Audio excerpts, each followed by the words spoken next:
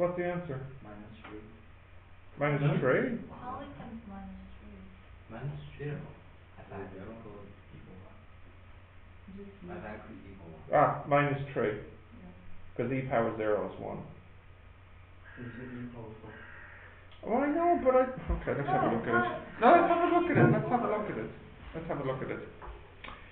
So, the inverse function. Let's just ignore this, okay. So remember you have your domain and your range. And f goes this way. And f inverse goes this way. Yeah? So if we want f inverse x to equal 1, it means we want the answer of the inverse after you calculate the x to be 1. In other words, if you start here with x and you get f inverse of x, you should get 1 at the end. But to me that just looks like the same thing as saying put 1 into the domain. Which is why I thought it was e power 4. But let's check the answer the long way. So to check the answer we need to actually get the inverse function.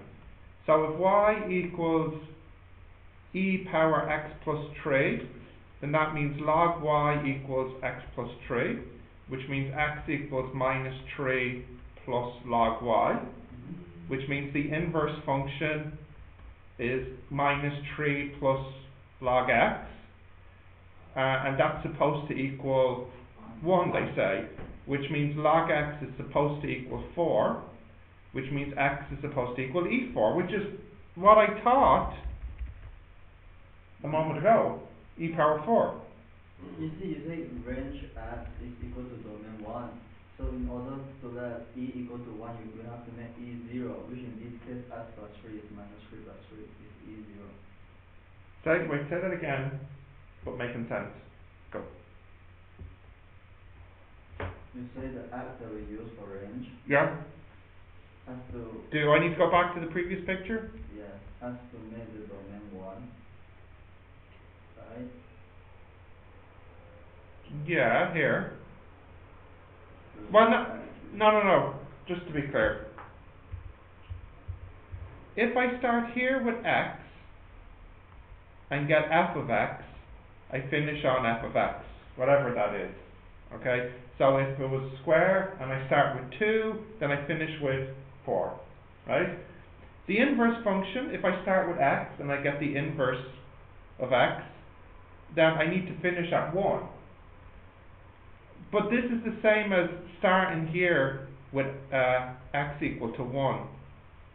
Oh, You see, I think you're thinking you need to say e power x plus 3 equals 1.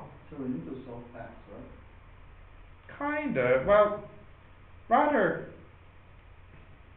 we know the x is 1. Here, look. I think what's a little bit confusing is we can switch how we use x and y. So if I say f of x equals y as my letters, Yeah. then I really can say x equals f inverse y. Mm-hmm. So when they say f inverse x equals 1, that's really more like saying f inverse y equals 1. I noticed that I, And we can match that up with that, so we can kind of see, well, the x has to be 1. I misunderstood the question. Well, that's I thought- okay. I thought it is x equals one. You know, like. When x is Equal one. one, equal. When x is 1. Yeah. I But that's how I understood it. When x is 1. No, we- what, what we thought is, I mean, we both make the same mistake, x inverse x equal to one. Yeah. But we thought x inverse one, like find when one substitute x inverse function. But is it okay now? Yeah. I'm confused why it's three marks. It must be in the marking scheme they think the students will find the inverse. In other words, this is how they must picture students solve it in the marking scheme. Whereas for my picture here, from this, I can get the answer. I doubt it's three marks for this. So this can I, can I say that f x inverse equal one, so f one equal, Yeah, you're saying f inverse equals one, so f, f one equal, so f equals f one, uh, yeah. Yeah. yeah, which equals e four. Actually, maybe this is how they pictured it. One, one, one? I don't know. Something like this. I suppose you can look at the market scheme later. Uh, okay, so that's the first question there. The next one is we have to sketch.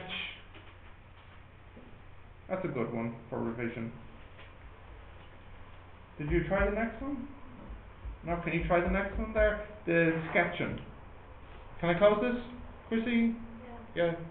Jerry? Yeah.